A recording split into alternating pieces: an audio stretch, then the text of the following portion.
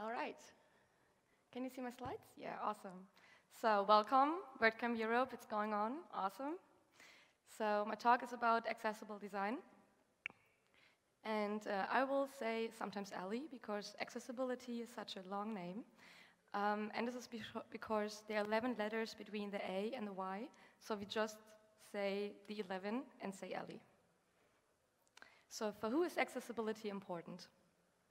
There are different kind of disabilities. For example, cognitive disabilities, which can contain autism, learning disabilities, but also anxiety or epilepsy. Um, there are also physical um, disabilities where the mobility is limited, so you have maybe struggles to use a mouse or the keyboard. And this also contains audio disabilities, where, for example, are deaf or you're in a really noisy environment and you have kind of troubles to hear um, the sound of your computer. And visual uh, disabilities can contain blindness, but also color blindness, which are 8% of all men. Then there's also the group between temporary disabilities and permanently disabilities. Permanently disabilities are every kind of things like color blindness where you have it like permanently. And temporary disabilities can be like you've broken your arm or you're using the screen in a really bright sunlight and you have struggles to see the screen or where you're eating in front of a computer, which we all do sometimes. So every fifth person has struggles to use the internet in one kind of a way. So why is this important for us as a WordPress community? For people without disabilities, technology makes things easier. For people with disabilities, technology makes things possible. Um, this is a quote from 1991, and it's still actual. It's still really important. And we as web designers and web developers, we're creating the web or the landscape of the web. We are responsible how the people can interact with our websites. And especially as a WordPress community, where WordPress right now is 30% of the internet, we have a really big, important responsibility and also influence in the landscape of the website. So we make, should make sure that everyone can use our website and are not excluded from the task they want to do, from the communication they want to do with the society. So accessibility is for everyone, because if a website is accessible, it also helps the people who not actually need it. And if you want to get deeper in this kind of subject, I can really recommend a talk from last year from Selfish Accessibility from Adrian Roselli, like over there. Hey. So what is accessible design? Accessible design supports the content, supports the functionality, and provide access to everyone. And a good example where you actually can see where a design is not accessible and breaks the functionality is this badge. Oh, it's a badge from a WordCamp several years ago, and every attendee got a Wi-Fi access on the badge, and there were also a password. The password contains lower and uppercase letters, but the font itself only had uppercase letters. So you were not able to use the password, and you not even can guess it. So the result was that the WordCamp team had to reprint all the passwords in a font which are not uppercase only, that you actually can use the password, which was kind of a hassle. So please always have this in mind that a design has to support the functionality and that you don't break it, and please don't do this. Um, so I want to come on some most common mistakes and best practices a really important part is use of color in the internet. So many times I see that the color is the only indicator for information or functionality. Um, this is not really a good thing. You should always add a style or a shape beside the color. For example, here I have a graph. Can you see the dot? Um, where on the one side I only have colors and the indicator. And it's quite hard to see the difference between the green and the blue, even if you're not colorblind. But if you add the shapes, it's much more obvious where the graph goes. But if you see this in grayscale, it's kind of impossible to see the graph and to actually use the graphic. So it's better to add a shape that everyone can still use the graph, even if you can't see the colors, or if you see them differently than a person without the color blindness can see them. A really good example is Trello. They added styles to the labels uh, so you can add them and still use them if you don't see the colors. Um, another point is links. I see it really often that links are not underlined anymore if they're contained in text, which is a really big problem because for me, as a person who can see colors, I have to guess, is this just a highlighting word or is this a link? And I have to get over with my mouse. But for a person who can't see colors, they actually don't see a link. So they can't use the functionality which is there. So it's always better to underline the links because then it's much more obvious this is a link. If you really don't want to use underlined links because you don't like them, you can get a bit creative and try to find other styles and other way to make a link visible. For, for example, you can say link and then write the link and make it stand alone, so it's kind of obvious. Or if you don't have a control over the, the style of a link, for example, on meetup.com, like if you're running a WordPress meetup, maybe you know this hassle, uh, you can't style them on your own. So you can, for example, add a little arrow or just write a whole link like with www or https to make sure everyone can see this is a link. When it comes to colors, there's also the point with low color contrast and a high color contrast. So usually, or sometimes, the color contrast is way too low, so people with a visual impairment, also if they use the screen in the bright sunlight, are not able to use something or to read something. For example, this, I don't know if you can see this, it's quite hard to read the one side. But if you have a strong color contrast, it's much easier to see the, the content. And I mean, this is the point. If you're writing text, you want that the readers can actually read the text, what you're writing. So please make sure that your design supports this and that you have a strong color contrast. Also, if you choose colors, for example, for button hovers, or if you want to show a functionality, um, if you can see colors, the difference between the red and the green or the blue and the green are quite obvious. But if you're colorblind, the color contrast in the grayscale are not high enough, so you can't see the difference. So if you choose colors, make sure that it also work in grayscale and you just use a darker, to, um, a darker color that you also can see if you don't can see the colors. So the color contrast should fit the double A standard, and they're between 21 to 1 and 4.5 to 1. So 21, for example, black and white, like this is the highest contrast you can reach, and you should not go lower than 4.5. It sounds a bit mathematical, but there are tools that can help you. My favorite tool is the contrastchecker.com, where you can just define the foreground and the background, and then you can see how the text looks like on the background. You can even set the grayscale, so you can see how a colorblind person maybe see it. And if you make the test, make sure the double A is green, um, because then you yeah, make sure everyone can access the, the website. And in WordPress core, we also use the double A standard. If you're using Sketch, there's a really good plugin that I can recommend. It's called uh, Sketch WCAG. And you can just define some colors, select them, use the the plugin, and then you can see uh, like a scheme how your color palette is working together, so what kind of color combinations you can use, which is still accessible.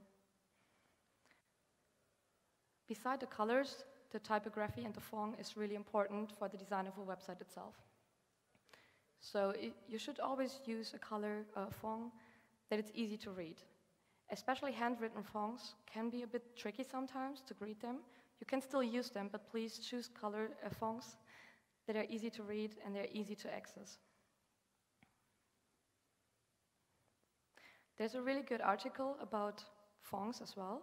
It's called Internet is Becoming Unreadable Because of a Trend Towards Lighter and Thinner Fonts. And this is true. Like sometimes I access a website with really thin, really light gray, and I'm really, I've really struggled to read this, which is not really the point of the article. So I really can recommend the article if you want to get more into the subject. There's also the problem sometimes with over-designed textiles versus a natural textile. For example, here, if you have a text and you use a lot of bold and really heavy differences, it's kind of obvious, like they're really sticking out, so you can overscan them, but they can be really distracting if you read the text. So don't do it too much. And also if you use upper cases, it changed the shape of a word itself. So have, you have to more focus to read a word. For example, if you imagine on the word development and they're written in uh, in lo- uh, lower cases, you just see at the, at the word and you know it's development. You don't have to read every single letter. But if it's an uppercase, you have to focus more on it because it loses the natural shape of the word. So you have, you have to put more energy in it to read it. So I would not say don't use uppercase at all, but make it really like just in short headlines and maybe some text or something, but don't do it for a whole paragraph. And really important is that you just do this over CSS and that you don't hard coding it in because screen readers will read uppercase letters as single letters. And this is also why you should use the hashtag in capitals and not in lowercase because screen readers would other, otherwise read like so or something like this. So this is not really helpful. If it comes to text, you also should structure your text and use text elements to losing up your text. For example, this is kind of the worst case for a dyslexic person because to get informations out of this is quite hard because it looks like just a text, block. So you really need focus to get into the text and to read it. So it's better to losing it up and using headlines and listing points so it more looks like this and you really can focus on the most important part. And this is also really important that you use the most important part informations, that you have this on top and that you maybe use the list for the impo inf important informations and the headlines because they're really sticking out. If you structure the website, if you design the layout of a post, make sure it has a clear site structure and not a messy structure. I think this is a good example how you should not do it because you don't know where to start. You don't know where to start reading, the headline is somewhere on the one side and then the text is on the other side, so you don't know where to start, where to continue reading, and where's the end. But if you have a text like this, it's really clear. You have a beginning, it's a headline, you know where you continue reading, and you know where the end is. So this is a really easy access. You don't have to think much about it, and it's just clear. So it's really user-friendly. If you structure your text, you, of course, using HTML elements, and it's really important that you use them in a semantic way and you don't randomly just put them somewhere where you like it because it looks nice. So you have one H1 for one side, and then you continue with H2 and H3, and then you just use them how the content works. So you don't have to use H3 if there's no need for it, but please use them in their semantic way, in their like the content defines the structure and not the design. When it comes to the internet and accessibility, links are really important. And it's really important that you're using meaningful and clear links and you don't have just useless link labels like click here. I mean, where are you going when you click here? You don't have information about this. But if you write contact us or see our guidelines, this is a really clear understanding where you get if you click there. And this is important if you just scan a website and you just get over like with a visual look you understand contact us. By if you have click here, you have to read the whole sentence before. And also if you use screen readers, you can say, please read all the links. And then if you have just like click here or read more, you not really have information about it, where to go, beside you have an ARIA label. A really good way to make a website really accessible is if you're using a mix of content formats instead of having just a single content format. For example, there's text, images, graphs, videos, and audio. Sometimes people prefer to use a text, and some people are more visual, so they prefer a graphic. But also different kind of cases need different kind of, of a media format. For example, if you're totally new in a field, maybe a screencast, it's much easier to understand something because you have no clue. But if you already know something about a subject and you only need one specific information, maybe you don't want to run through a whole video and you prefer the text. So always provide different kind of formats. And a really good example, for example, is also this WordCamp, because right now I talk to you, but you can also read it over there. So a big applause for their captioners to make this WordCamp accessible. Like, this is amazing. This is a great job.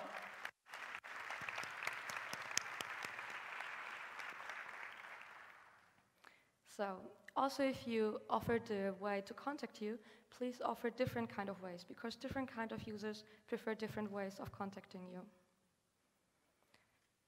A big, really important part is behavior of elements. It's really important that the user can choose the behavior and control the behavior of the elements by their own. This is especially important for sliders, audio, and video.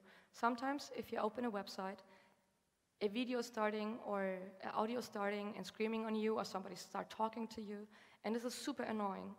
But for people who has problems to stay focused, this can be so distracting that they can't use the website anymore. A really big problem is also if you have really like flashing images or flashing GIFs, it can cause an epileptic cashier. cashier. So this can be a really healthy risk. So please don't do this. Don't make your website in a way that it can make people sick. Links a really common topic about this is don't use target blank because a user can always choose on their own if they want to open the link in the same tab or if they really want to have it in the new tab, they can select it by their own.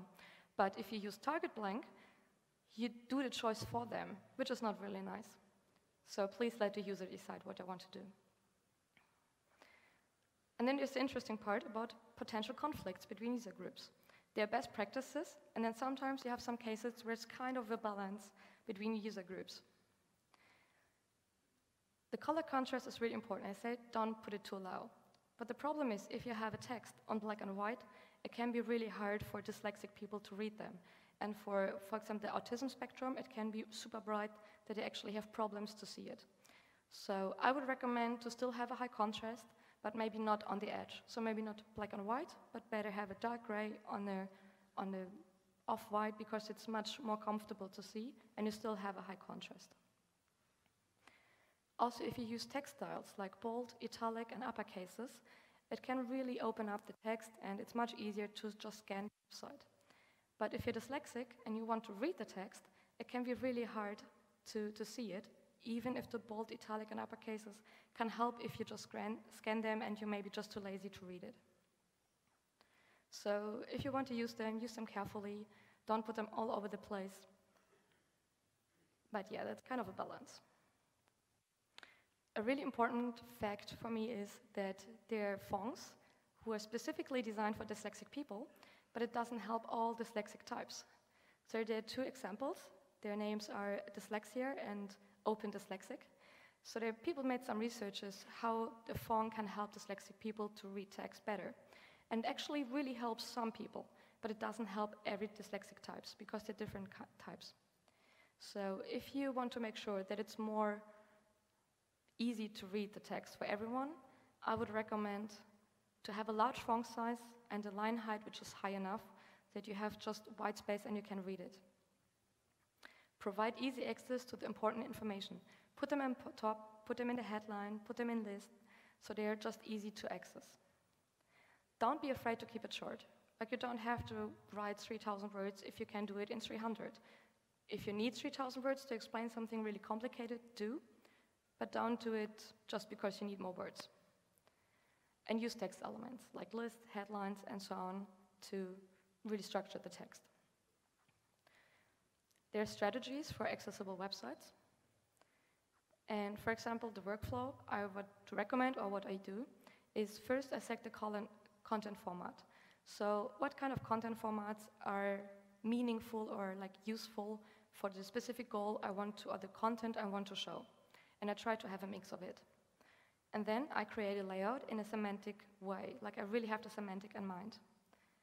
For example, like this, I just add the different kind of content formats like text and video and images, and then I defined what kind of headlines are important. And then you can start designing the text elements and other elements, and really important is to do it in black and white, because if you first design everything in black and white, you can make sure that, every, that everyone who are colorblind can still access the website and you can see potential conflicts. For example, there are some links who are not underlined, and it's a bit hard to see them in grayscale, so you can see some big points and you make sure everybody can use it. And then on the next point, you can get a bit crazy and add some colors. So here you can be really creative and getting yeah, a little bit crazy because you already made sure that the color contrast is good enough for grayscale, and now you can just add the colors. And while you're all doing this, it's important that you're creating a style guide and explain what you're doing and why you do, did it for developers and also for the content creators who add the content. So you can make sure that the, access, that the website stays accessible when the content gets created. And also like continue. I mean, usually it's a project over a few years and content is always added. So make sure you teach them. And overall strategies for accessible websites is design is not art. Design has to work. If you design something, you have to make sure that your users can use it. And if you want to create something that you like it, but maybe it's not useful, just do some art. but design is not art. Form has always follows the function. The form has to support the functionality and not the other way around. Integrate accessibility from the beginning on. If you do it on the end, it's kind of a hassle. But if you do it from beginning and you think about it in every design decision you do, it's much more easy. It sounds a bit hard maybe, but this is the next point. Train your accessibility thinking muscle. If you are really aware of accessibility and you learn a little bit more, it gets supernatural. So if you make design decisions and you get into accessibility, it's much more natural just to make the right design decisions on the beginning. It doesn't need, need more time to choose colors who are accessible than just have colors who don't have a high color contrast, especially if you use the tools. Do best practice in every area you're involved in. There's a reason why we call it best practice. And maybe the most important thing is be empathic. Don't think this is not my target group. Please include people on purpose. Don't exclude them because you're too busy or something. Like we have the control on the, not the whole control, but we have a big impact on the internet as web designers and de web developers. So please, please, please, be nice, be inclusive. Okay, I have some resources I want to share. The one I really like is the cheat sheet posters from the government UK. It's called Do's and Don'ts on Designing for Accessibility. It's available on GitHub in different languages. Print them out, put them in the office, look at them. They're really awesome. Then, of course, there's from the WordPress accessibility team, we have a handbook. And Sami and Rian did an amazing job. They're rewriting the whole stuff in the last months. Have a look at it. It's for designers, it's for marketers, it's for developers. There's a lot of resources in it, a lot of really good tips how you can make a website accessible, how your code can be accessible, how design should be accessible. It's a really, really good starting point. There's also a book, it's called Accessibility for Everyone. There's available in an ebook and in a printed book, which is really good. And if you have, if you want to get your weekly news about accessibility, there's a really good newsletter which is called a11yweekly.com. Just sign up, and then every week you get really awesome content. Thank you.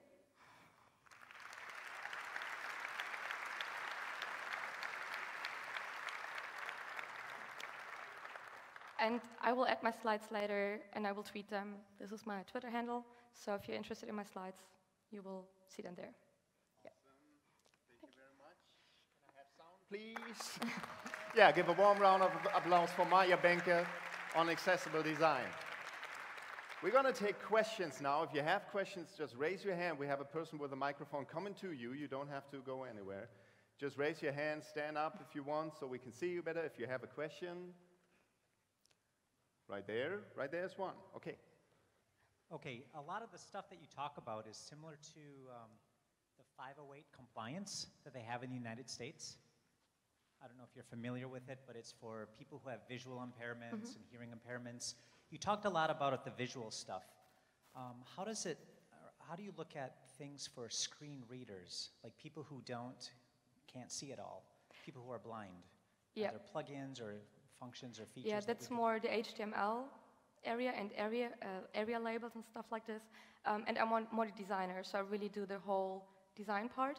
Um, but there's on the WordPress um, handbook from the accessibility, there's a lot of content. So if you're interested in this, I would just advise have a look there. They're great content.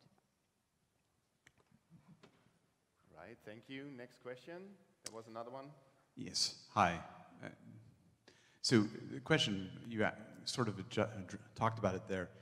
Uh, once you set it up, it's fine, but then as you go about creating the content, it's a constant uh, struggle to ensure that it's being created in that way. What kind of tips, tricks, suggestions have you had over time for people who are creating a lot of regular ongoing content? I think the most important thing is that you work in a team, and for every person, accessibility is important because it's also the, the base, the code base has to be accessible, the content has to be accessible. So I think it's just important that in a part you work, like if you're a developer or if you're a content creator, you have to know your own stuff about accessibility. And if you know this and you care about it, it gets kind of natural to adding it.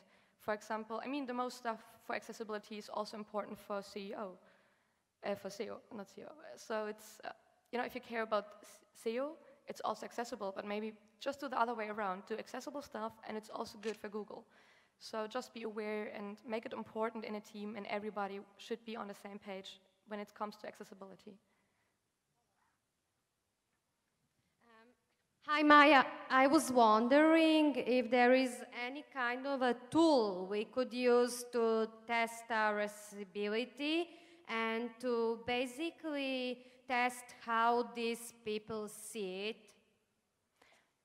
Yeah, there are different kind of tools. Um, right now, I don't have the name, but I can Twitter them later. But they're also all in the ha- handbook from the accessibility team. So if you want to test the um, the color contrast, um, you can just use the tool, for example, that I showed. But there are also uh, plugins for the browsers, uh, which is WebAIM, for example. And there are different more, um, so you can just run over them, and then they show you the HTML problems and the low color contrast and stuff like this. Thanks. We got time for a couple of more questions. Anyone has a question? Please raise your hand. Don't be shy. okay, nobody have a question. I have a question. Oh, there's, there's a question right there. All right. Yeah, it's working. Uh, Sorry, I have been late to the event. Maybe I have missed this part. But sh- do you think we should do anything to make our content compatible with uh, uh, digital assistants, personal assistants like Alexa, Siri, or Amazon's or whatever? If it has a real markup and the HTML text is like marked probably, you can still read it. I mean, it's like a screen reader. If you say this is a headline and then you're writing a headline, everyone can see it. If you make a picture and you write in the picture the headline, nobody can see it. So, you know, if you use the right HTML and then maybe use some ARIA labels on a way where you have some struggles, it's accessible for Siri, for Alexa, for screen readers, for Google, for So, so nothing special to, in order to make uh, it make it compatible with those platforms, right? No, HTML5 is pretty accessible already. Okay, thank you. How, uh, how is your opinion about uh, minimalistic uh, design on the website? Sorry, I can't see you. Where are you? Ah, sorry. Hi. Can you repeat it again? Sorry. Sure. Uh, what is your opinion about the minimalistic uh, style or design on the website? Usually they're pretty good because you focus on the important things. Problem is if it's got too minimalistic and you're missing out important things, for example, when you write, fill out a form or you have a clickable button, you should be able to see where's the area where you can click in. And sometimes they don't have a border at all, or they have a really light border, and then it's quite hard to see. Also, this flat design can be a bit struggling because maybe you have a button which don't has a border counter anymore, so people maybe struggle to understand is this a button or is this just a, a field. So being minimalistic is not really a bad thing because you're reducing the content and make it a good overview for the most people but you still should use visual indicators for important things like functionality and yeah like you yeah you have to find a balance kind of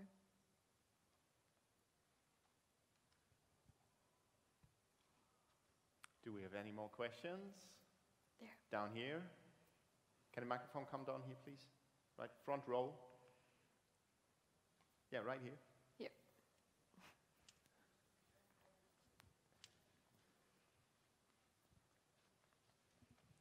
Um, this is not a question, but actually um, an announcement. If you want to learn more about good design and about prototyping, there is a very good workshop tomorrow at 2 from Adrian Roselli about accessible prototyping. End of commercial. Yeah Okay, thanks very much, but please keep it to questions, not announcements. Thank you. We have one over here, right? Fourth row or something? Hi, how, how about uh, font resizers or something? Do you recommend using them or you think it's completely nonsense? Font resizing? Yeah. Like you mean the double, the two A's? Where you, I think they're quite of nonsense because uh, like usually you just put them in and say, yeah, my website is accessible, and usually they're not. Um, and also if you make your, your font big enough right away, it helps everyone. So I not really like these kind of things.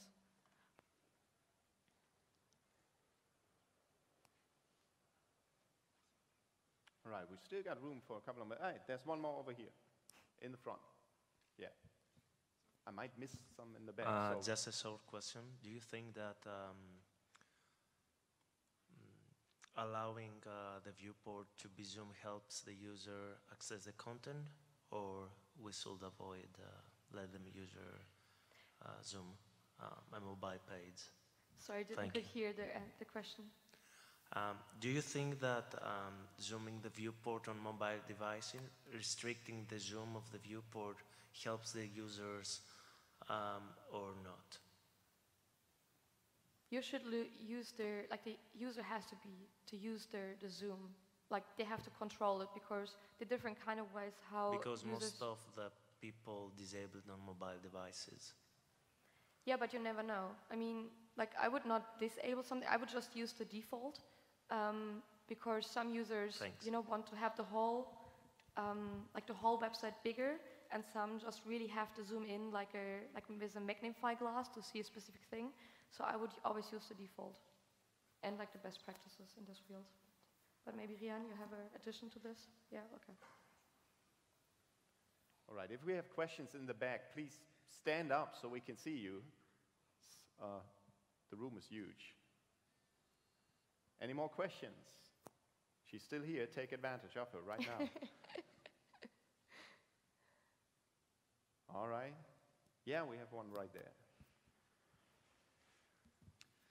So, if you have um, a theme that is not accessible, would you consider rebuilding it from scratches or trying to adapt it?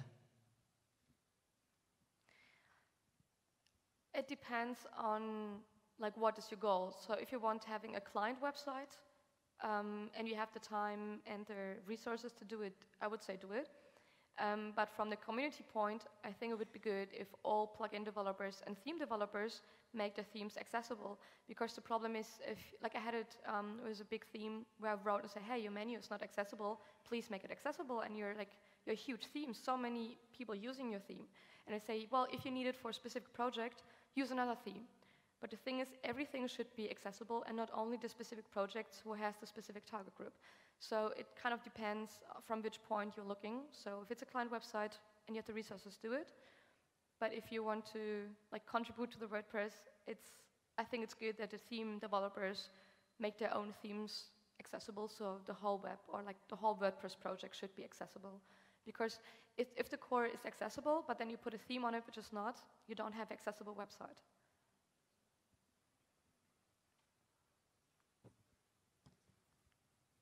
Any more questions? Don't be shy, just raise your hand or stand up if you're in the back, please. That's why I say come to the front. We got one? No. All right, I think I'm just going to ask one last question.